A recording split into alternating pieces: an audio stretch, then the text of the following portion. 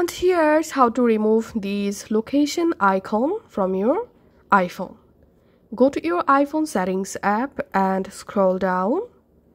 Tap on privacy and security. Scroll down. Sorry you have to tap on location services. And in location services page scroll down all the way to the bottom and tap on system services in here scroll down all the way to the bottom and here you will find this option status bar icon.